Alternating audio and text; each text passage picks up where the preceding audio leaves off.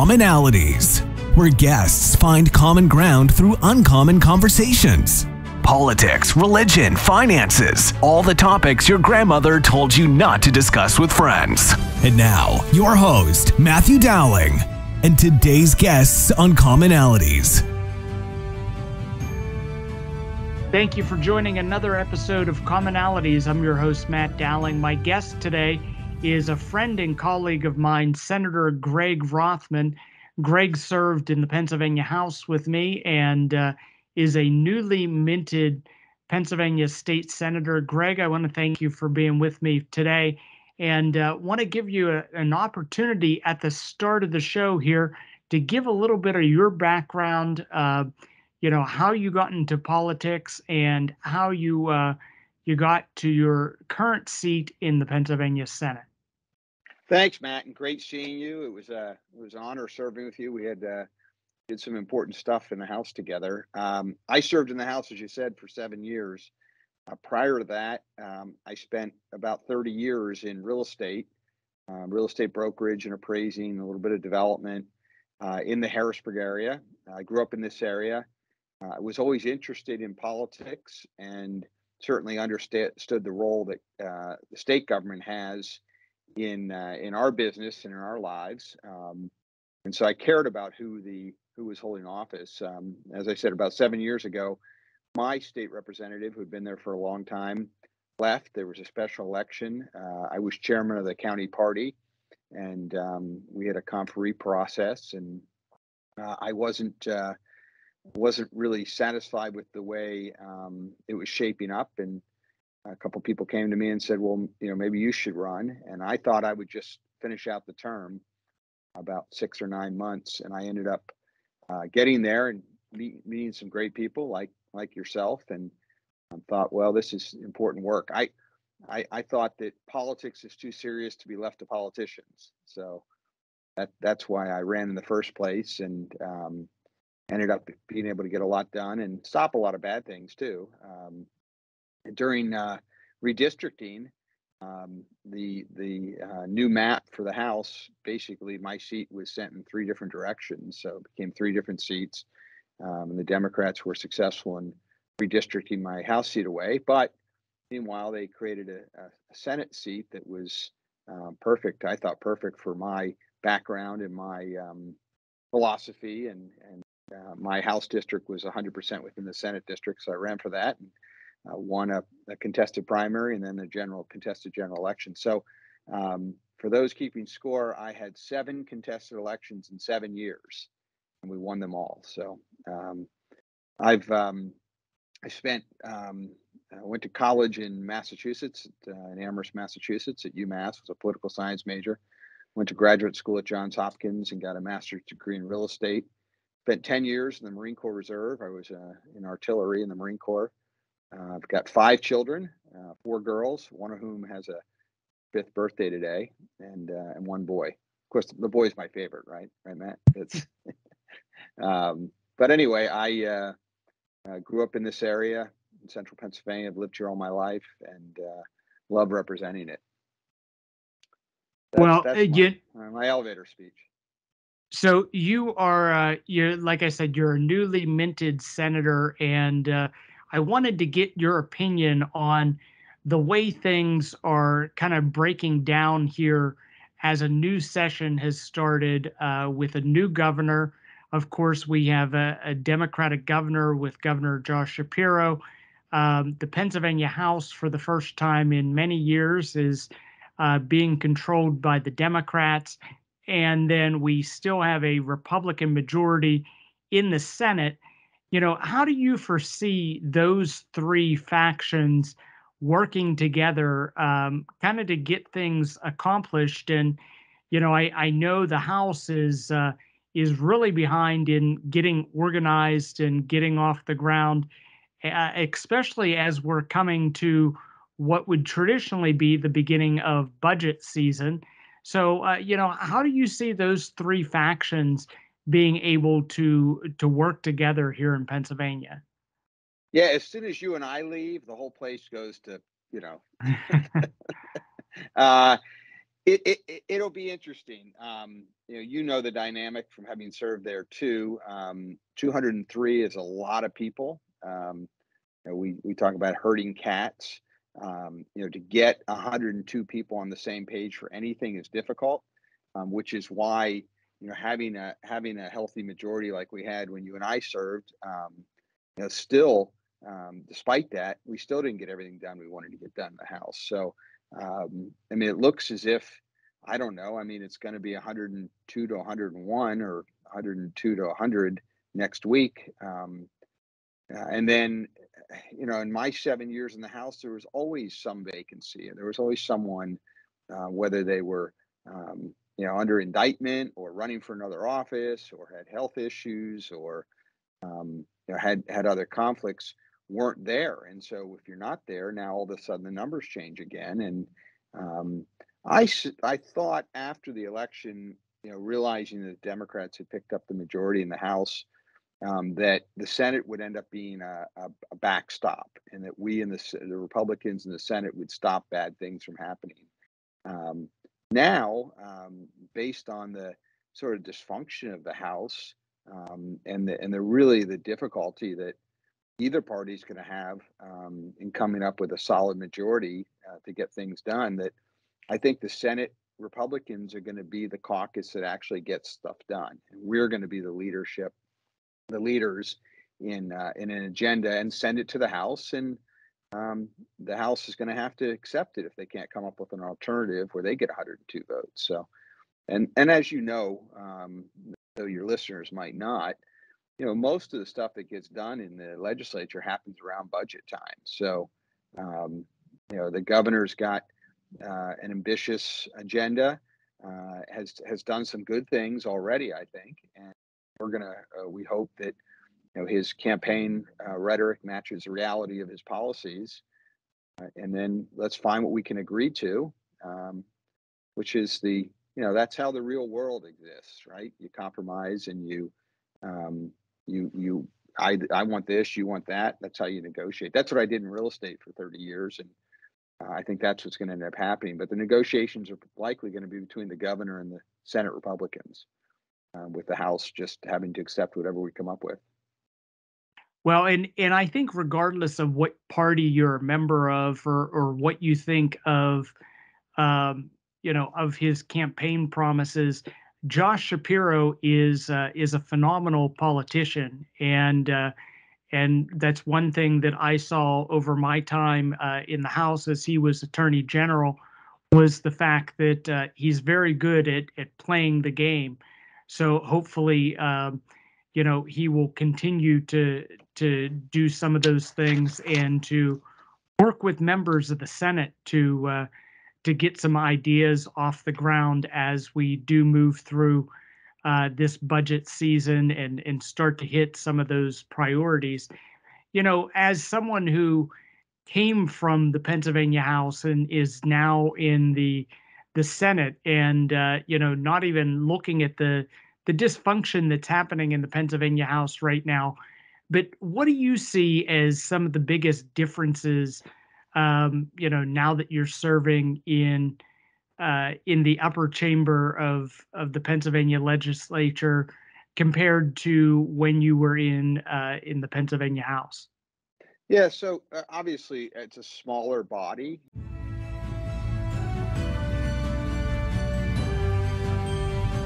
This has been Commonalities, a show where guests find common ground through uncommon conversations. Copyright 2022 Coordinated 360. All public rebroadcasts should be done with prior written approval from Matthew Dowling. All requests should be sent to info at coordinated360.com. Thank you for listening to Commonalities.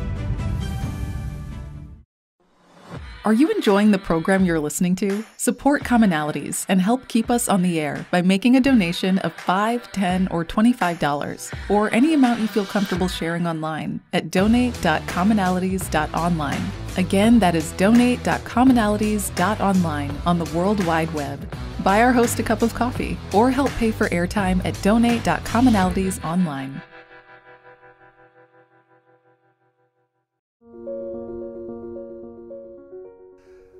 Hello, Uniontown. Mayor Bill Gerke here. There's nothing quite like the feeling of home, that sense of belonging, those fall Friday nights under the lights, those winter nights in the gym watching our Red Raiders, those refreshing spring afternoons at Bailey Park rooting on our Red Raider softball and baseball teams. I am grateful for those memories and hope our community's children and grandchildren can enjoy those memories too. But to do that, we have to plan for the future. During my first term in office, the city has got Bailey Park back to a place where we can be proud of. Began our city's first comprehensive plan in over 20 years. Started work on the city section of the Sheepskin Trail. Worked on eliminating blighted properties and are rebuilding the city's neighborhoods. We've updated the faulty equipment in the parking garages, and we're bringing a more competitive, reliable, faster, and less expensive internet service to our city residents. We have done a lot, but there's still more to do. So I, Bill Gerke, am running for a second term. We're Uniontown proud, we're Uniontown strong, and together we can continue to rebuild Uniontown for the next generation. Paid for by Mayor Bill Gerke.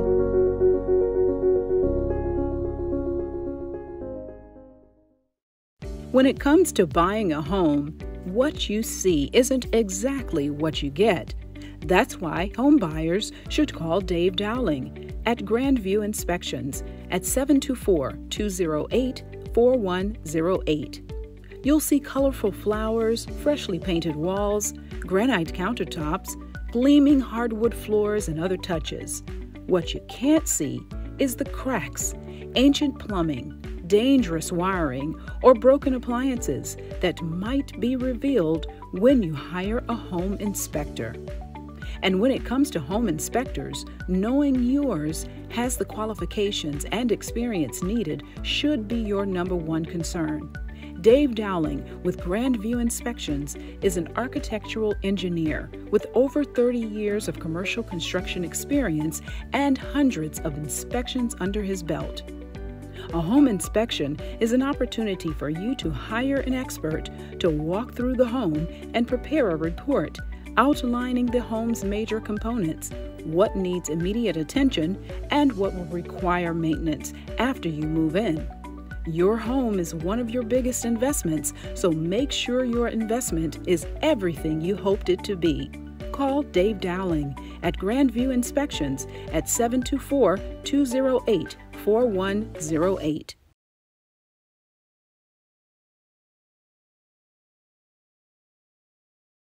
I'm Melinda Delarose. As an assistant district attorney, I've protected Fayette County families and fought to uphold our constitutional rights. As a prosecutor and trusted local attorney, I've provided victims of crime with a strong voice and put criminals behind bars. My pledge to you as judge is to follow the law, always maintain the highest ethical standards, and to run a courtroom that's respectful of your time and tax dollars. I'm Melinda Delarose, asking for your vote for judge. Paid for by friends of Melinda Delarose.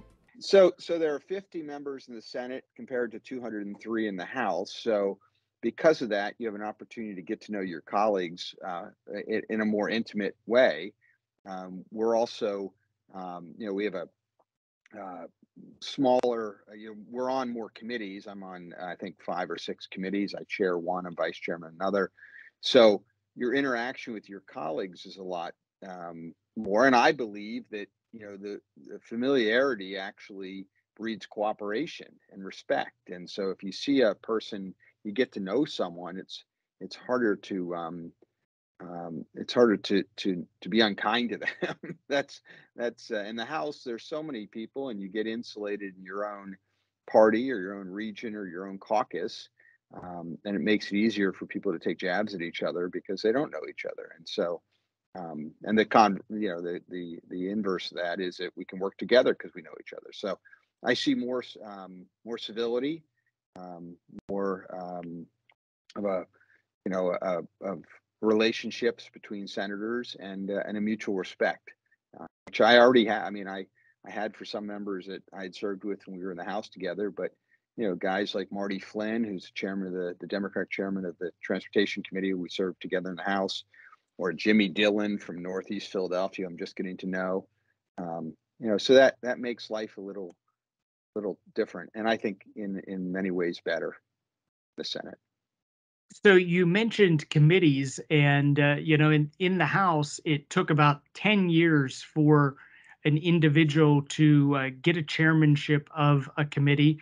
Um, so I wanted to give you an opportunity to, you know, rattle off some of the committees that you're on, but also to talk about um, the committee that you're now chair of and uh, some of the legislative priorities that you have on that committee.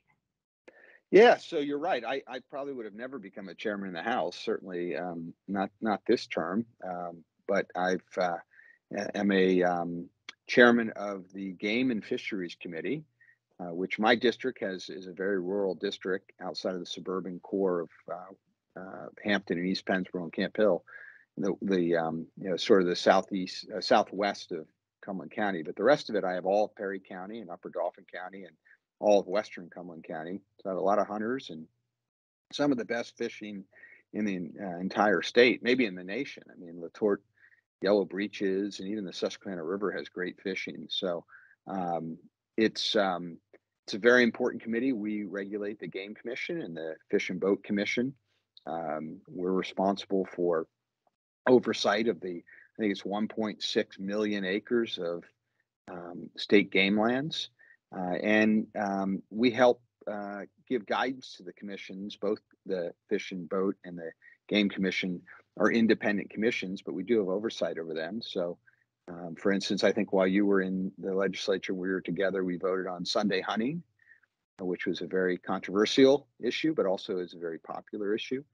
Uh, so the you know million plus hunters and million plus fishers and uh, fisher people who fish, I guess, um, you know, care about what our committee does. And so, um, you know, whether we open on a Saturday or a Monday is a sort of a controversial issue right now. Um, and I, am just trying to get to know um, the um, the fishing game uh, or the game and fisheries um, industry. And I mean, I, I'm I'm a mediocre fisher and a mediocre hunter, but I do uh, greatly appreciate the outdoors. I spend a lot of time outdoors, and um, you know want to promote that as an industry, uh, not just for the revenue it generates for our economy, but also as a way to attract people to Pennsylvania, not just for tourism, though that's important, but to try to shift the demographics and get more young people to come to Pennsylvania after they um, graduate from high school or college and come here because they love the outdoors and all the opportunities we have on our our streams and our rivers and our lakes and um, and in our in our state game lands. Well, Senator Rothman, we have to take a quick break. We'll be right back here with more commonalities.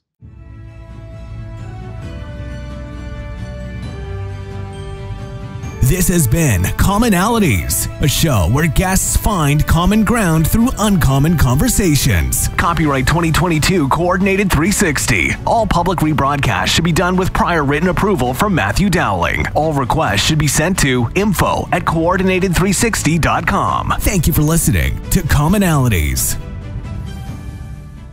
Is your business using analog strategies in a digital marketing world? If so, then contact Matthew or Rebecca Dowling at Coordinated 360 for a professional consultation, where we bring in depth knowledge and functional expertise with a holistic perspective.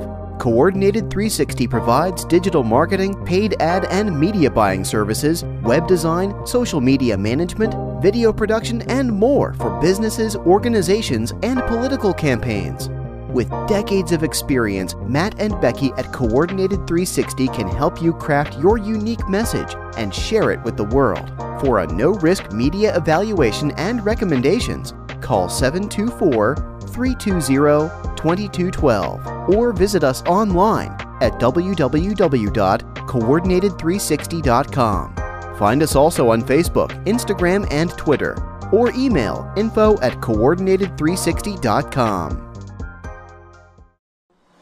Are you enjoying the program you're listening to? Support commonalities and help keep us on the air by making a donation of $5, $10, or $25, or any amount you feel comfortable sharing online at donate.commonalities.online. Again, that is donate.commonalities.online on the World Wide Web. Buy our host a cup of coffee or help pay for airtime at donate.commonalities.online.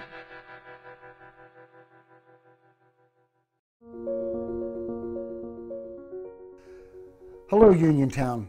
Mayor Bill Gerke here.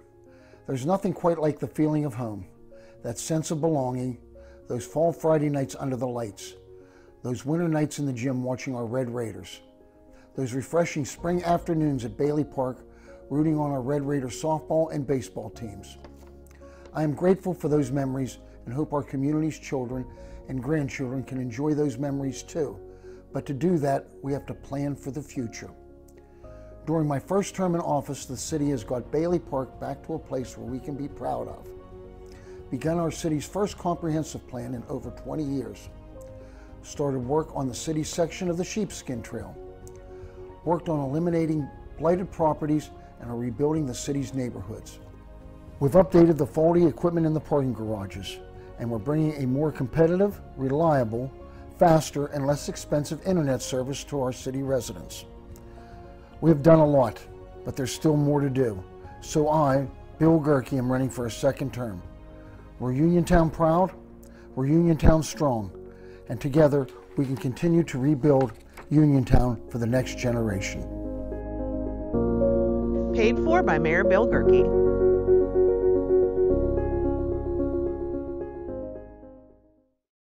I'm Melinda Delarose. As an assistant district attorney, I've protected Fayette County families and fought to uphold our constitutional rights. As a prosecutor and trusted local attorney, I've provided victims of crime with a strong voice and put criminals behind bars. My pledge to you as judge is to follow the law, always maintain the highest ethical standards, and to run a courtroom that's respectful of your time and tax dollars. I'm Melinda Delarose, asking for your vote for judge. Paid for by friends of Melinda Delarose.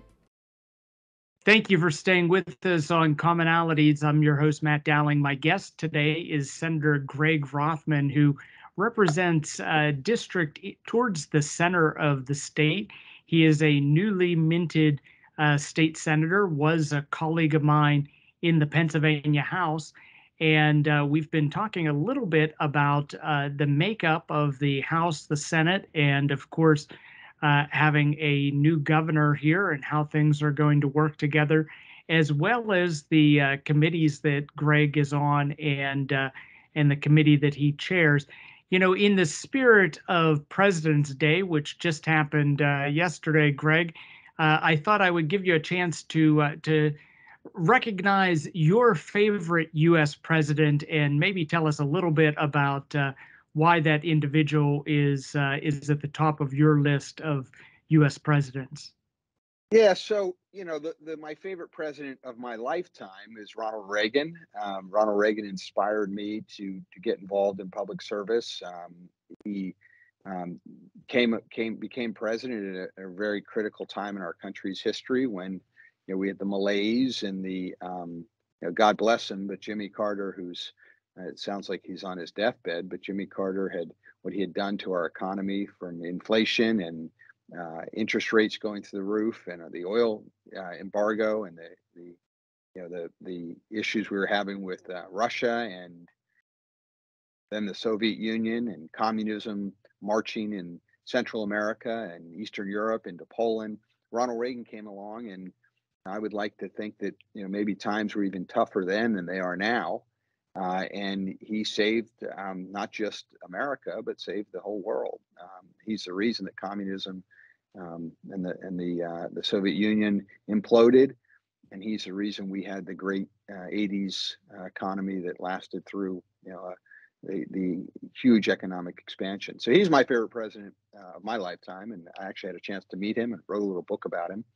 I think Abraham Lincoln is probably uh, historically my favorite president. I have a farm in Gettysburg, and I think what Abraham Lincoln did in the with the Fourteenth Amendment and Emancipation Proclamation, and you know, saving the nation from um, the the what the hideous practice of slavery, but then also keeping the nation together by willing to by willing to to uh, fight the Civil War. Um, I also love Calvin Coolidge. Calvin Coolidge uh, was from Vermont, but went to school in Amherst, Massachusetts. Uh, went to was the mayor of Northampton, was a state representative, a state senator, uh, a lieutenant governor, a governor of Massachusetts. Went on to become vice president and then president. And Calvin Coolidge uh, believed, I think, you know, shared what you and I believe that uh, the government functions best which does least and let let the people do things and, and empower the people it's the government of the people by the people for the people the consent to the governed so you know for a long time they said well calvin coolidge didn't do anything what did calvin coolidge do other than be president during the roaring 20s um, and then later historians look back and there have been some great books written about him so wait a minute he did exactly what he said he would do which is stay out of the stay out of the lives of Americans and stay out of our businesses and our industries and let them thrive by having government leave them alone. So those are my three favorite presidents. But that that's great feedback to get, and uh, and those are three presidents that I think, as Republicans, that we can draw a lot of connections to. Um, you know, I wanted to talk about uh, what you feel will be the biggest legislative priorities, not just for the Senate or for the House or for the governor, but what do you see us actually getting accomplished in this next two year period here in Pennsylvania? Yeah, you know, one of the first pieces of legislation I introduced when I got to the House was to cut the corporate net income tax. Uh, I had worked for Jack Kemp and the Kemp Roth tax cuts of the 80s, uh, which uh, Ronald Reagan championed, were critical to uh, turning the economy around as a country. And I thought cutting the corporate net income tax rates would do the same for Pennsylvania. Uh, it took seven years, but the governor actually signed um, it into law as part of the budget process. Senator Ryan Aument from uh, Lancaster had worked on it too. Many other people, Senator Michele Brooks. Um, but now that we've passed that, I'd like to see it accelerated. Um, it, it the, the way the bill passed, it does cut it a little bit, but it doesn't cut it enough. Um, to attract businesses to Pennsylvania. So I'd like to see that. You know, regu- regulatory reform is such a, a, big issue, not just for the Republicans, but all the all the private sector. We're all affected by these regulations. And during the COVID pandemic, um, the Governor Wolf's administration suspended a lot of regulations, and we should be looking at those regulations and saying, do we really need these since uh, we survived uh, having them suspended? And then I think energy is such a big issue for um, our our nation and with what's going on in Ukraine.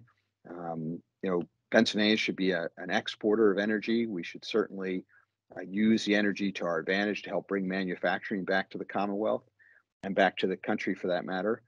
Uh, and that we should be a leader um, in in energy in all forms of energy, but but certainly natural gas and oil that we're blessed to have, and coal.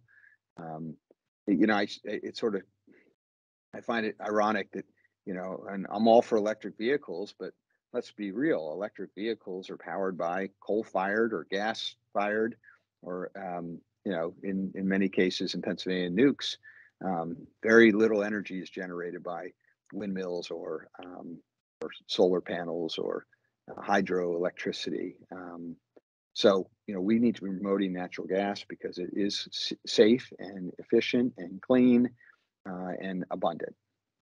You know, and and I live here right in the midst of uh, Marcellus Shale uh, land, where you know we have just a, a plethora of gas and oil opportunities, and I believe if we were to have additional pipelines or ways to to transport that gas and oil, we could be an even larger player nationally. Um, in the export of gas and oil. But one of the big things that I know as I've worked with the industry um, that I've found is kind of the instability that Pennsylvania has with gas and oil. We've been talking about uh, an excise tax or or a gas tax uh, for a long period of time.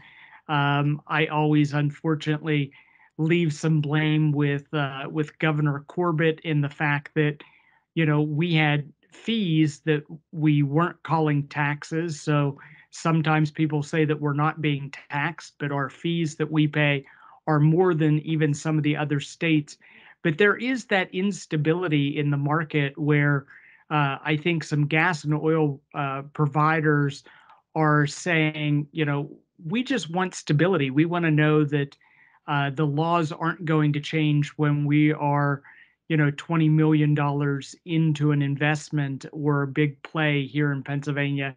Do you think we have the power to uh, to stabilize and and solidify some of the regulation in gas and oil so that that stability is there and uh, and the manufacturers won't be afraid that they're going to be hit with some other tax after an investment has been made. Yeah, no, you're you're you're spot on. I mean, they they need stability, and these are huge investments that they're making. Um, so I, I mean, I'm hopeful. I'm optimistic that you know Governor Shapiro came out against uh, Pennsylvania joining the uh, Regional Greenhouse Gas Initiative, RGGI. Uh, he has been, um, you know, has been supportive of the industry uh, as a candidate. Um, but um, I think that you know we need to make sure that um, people who invest in Pennsylvania and make large investments in Pennsylvania have their investments protected, and stability is a, a huge part of that issue. Um, you know, I, have been talking about um, across the street from now Senator John Fetterman's house in Braddock, Pennsylvania, is the U.S. Steel plant, and U.S. Steel were you know they they were going to invest a billion dollars in that plant, but because of permit delays by Allegheny County and um, local governments too, they instead just decide to deploy that one billion dollars in investments to Arkansas.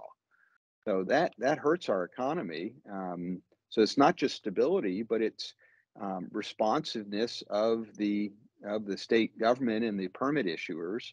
Uh, I had a meeting yesterday with the the new uh, proposed Secretary of DEP, Richard Negrin, and uh, you know his he he recognizes that DEP is um, you know hindering our uh, ability to attract businesses to Pennsylvania and get economic investment. So I think he's going to be again. I'm optimistic that he's going to understand how important um, that is to our economy. And and you're absolutely right. Stability is uh, a main issue that investors want um, when they make investments into our Commonwealth.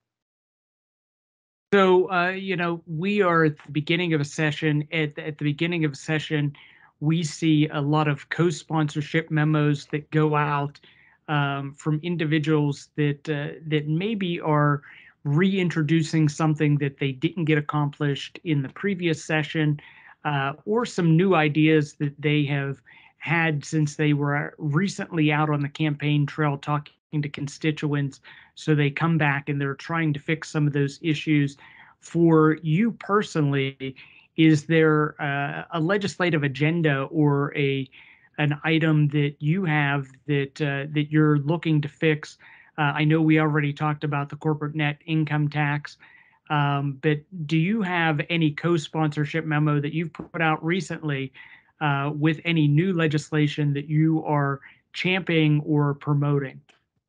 Yeah, so um, I, I, just got done reading this morning about this uh, Philadelphia police officer, Temple University police officer, who was shot point blank and killed.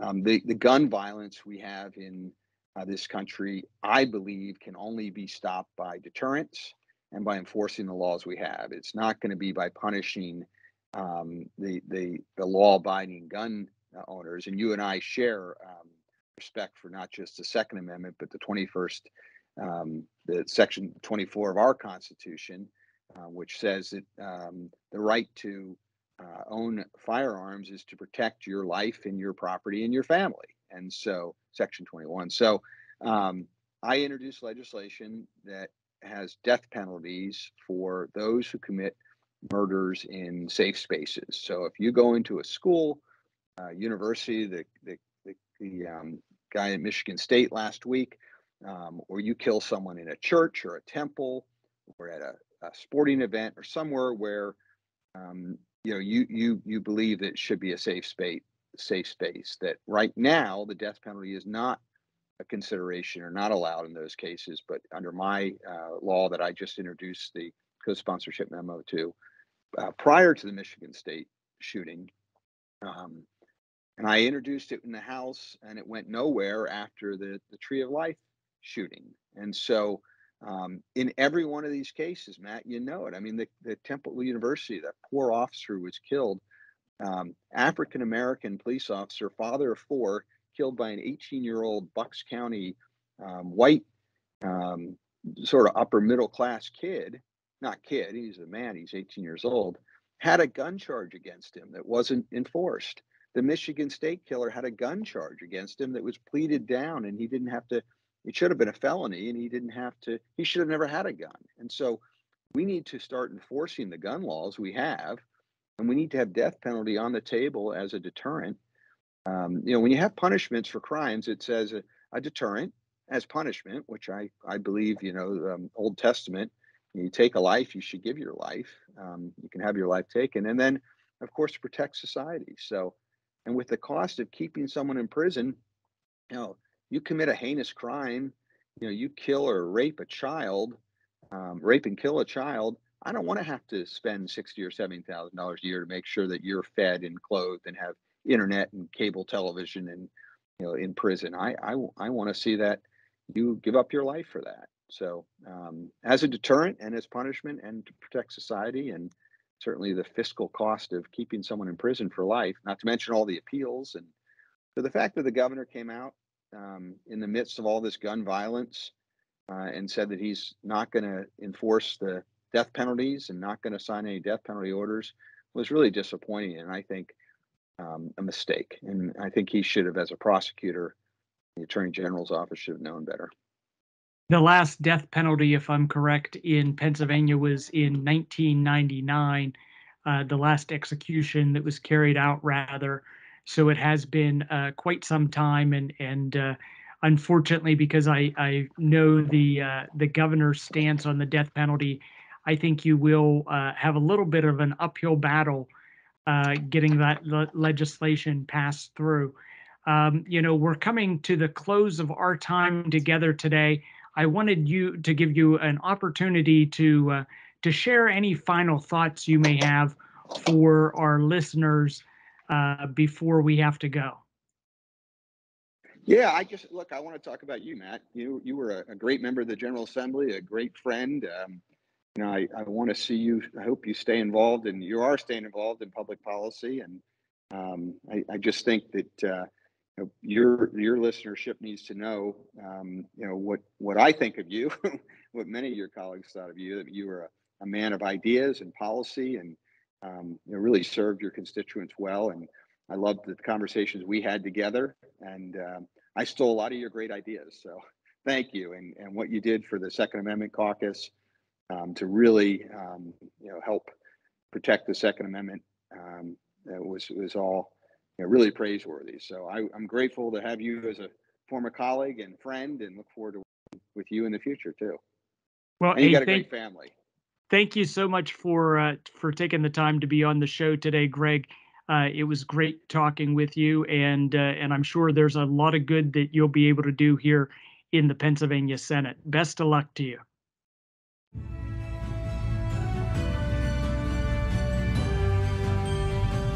This has been Commonalities, a show where guests find common ground through uncommon conversations. Copyright 2022 Coordinated 360. All public rebroadcasts should be done with prior written approval from Matthew Dowling. All requests should be sent to info at coordinated360.com. Thank you for listening to Commonalities.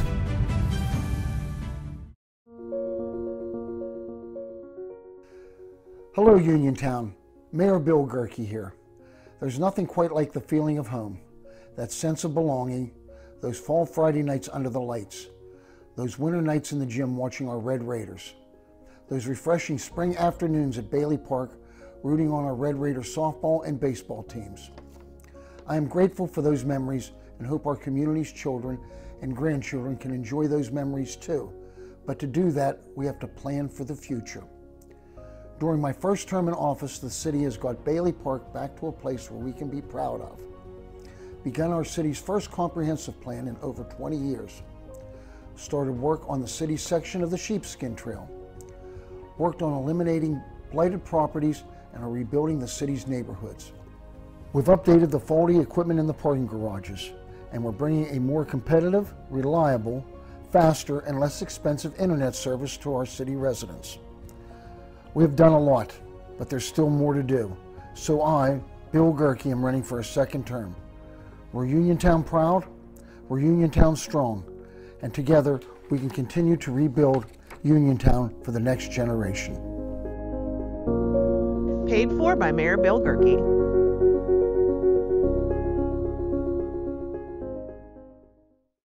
I'm Melinda Dellarose. As an assistant district attorney, I've protected Fayette County families and fought to uphold our constitutional rights. As a prosecutor and trusted local attorney, I've provided victims of crime with a strong voice and put criminals behind bars. My pledge to you as judge is to follow the law, always maintain the highest ethical standards, and to run a courtroom that's respectful of your time and tax dollars. I'm Melinda Dellarose, asking for your vote for judge. Paid for by friends of Melinda Dellarose. Thank you for staying with us on Commonalities. I'm your host, Matt Dowling. My guest today was Senator Greg Rothman. I want to thank Greg, um, who was a colleague of mine in the Pennsylvania House, for being with us today. But uh, before we go, I want to call your attention to a couple of places that uh, there are some additional resources.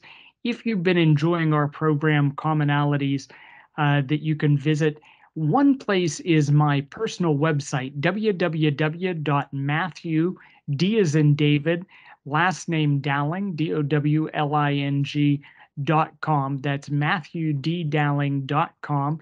You can visit that site for information on our show commonalities. You can find archived clips of all of our episode episodes as well as transcripts from our episodes. And if you click on the news section, you'll find some of my most current writings that have been pub- published in local newspapers, etc.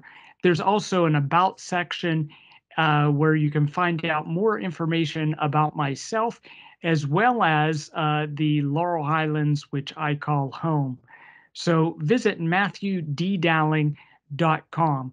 Also, I would encourage you to stop by Facebook and find my official public site, Matthew Dowling Public, and uh, you'll find uh, all of the news articles I share, as well as some of the content that you hear about on commonalities. This brings us to the end of today's broadcast. I want to thank you for visiting us and encourage you to reach out at any point in time to let us know who you'd like to hear from as a guest on the program and uh, what programs you're enjoying the most. Feel free to contact me on Facebook, Instagram, and Twitter. This has been Commonalities, a show where guests find common ground through uncommon conversations. Copyright 2022 Coordinated 360. All public rebroadcasts should be done with prior written approval from Matthew Dowling. All requests should be sent to info at coordinated360.com. Thank you for listening to Commonalities.